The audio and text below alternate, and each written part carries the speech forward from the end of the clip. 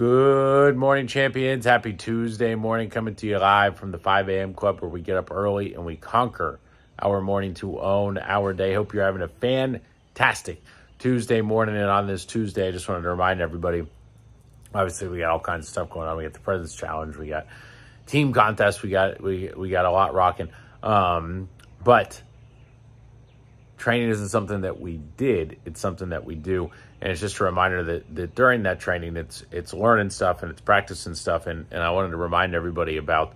Um, reactionary defense responses, right, or RDRs, and it, and it's just that concept of when somebody gives you, you know, kind of that that objection that that we all have, kind of that reactionary defense response, and and it's something that we've got to train ourselves to have better ones for, right? So if somebody says, I didn't fill that out, um, you know, we've got to have the ability to not react to that in the way that we normally would and tell them, yeah, you did.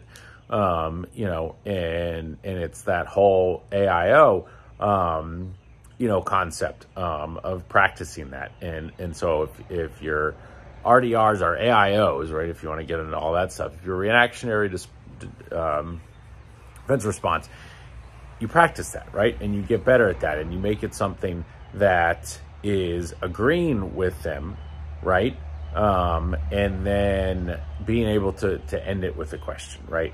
And so, you know, continuing to practice that stuff and train yourself so that when those objections and stuff come, that your initial reaction is to agree with them and, and to ask them a question, then it's going to change your whole presentation style, right?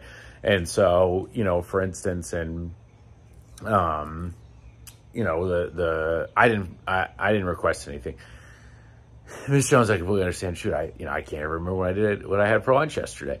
Um, you know, with, with how busy we all are in this world, so much stuff we got going on, you know, I, I tend to forget so much different stuff.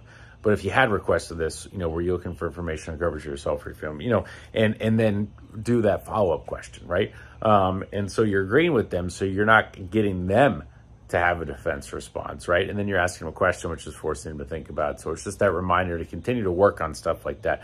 I mean, continuing to aspire to be better today than you were yesterday. You do it every single day.